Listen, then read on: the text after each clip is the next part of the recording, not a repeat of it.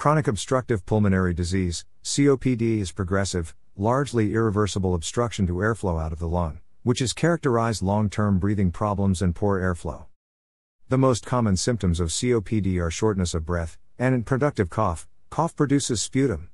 These symptoms are present for a prolonged period of time and typically worsen over time. COPD affects quality of life and ultimately result in death. It is estimated that 3% of all disability is related to COPD. Globally, COPD affects approximately 4.8% of the population. Causes Cigarette smoking is the principal cause of COPD. Greater than 10% of the population older than 45 years of age has airflow obstruction. Poorly ventilated cooking fires, often fueled by coal or biomass fuel such as wood and dung, lead to indoor air pollution. Work related risk factors are coal mining, construction, and stonemasonry. Chronic bronchitis and emphysema are older terms used for different types of COPD.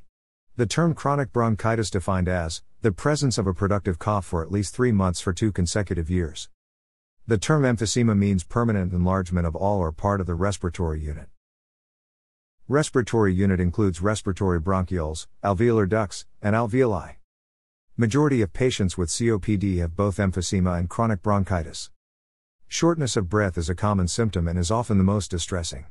It is commonly described as, my breathing requires effort, I feel out of breath, or, I can't get enough air in. Physical activity limitation develops. Obstructed airflow may have wheezing, high pitched whistling sound made while breathing. Cyanosis of the skin and mucous membranes is common. Patients are called blue bloaters because of the presence of cyanosis of the skin and mucous membranes. Tendency for the patient to be stocky or obese.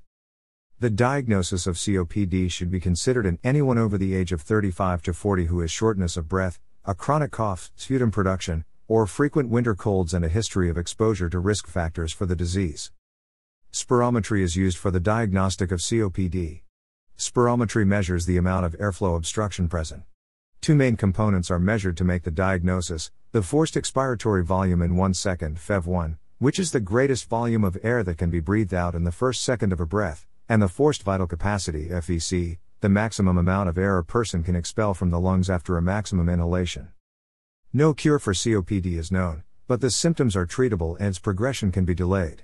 The major goals of management are to reduce risk factors, manage stable COPD, prevent and treat acute exacerbations, and manage associated illnesses. The only measures that have been shown to reduce mortality are smoking cessation and supplemental oxygen. Stopping smoking decreases the risk of death by 18%. Other recommendations include influenza vaccination once a year, pneumococcal vaccination once every five years, and reduction in exposure to environmental air pollution. Exercise may have some benefit. Inhaled bronchodilators are the primary medications used, and result in a small overall benefit. The two major types are beta 2 agonists and anticholinergics, both exist in long acting and short acting forms.